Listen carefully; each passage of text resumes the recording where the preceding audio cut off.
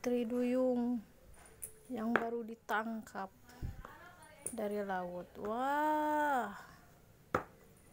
Dia mau ke mana? Dia mau kabur. Wah. Mau ke mana dia? Putri duyungnya wah.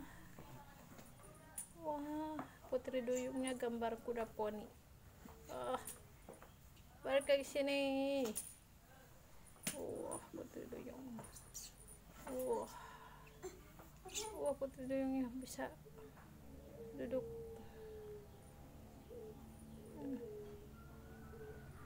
Pinkie Pie. Pinkie Pie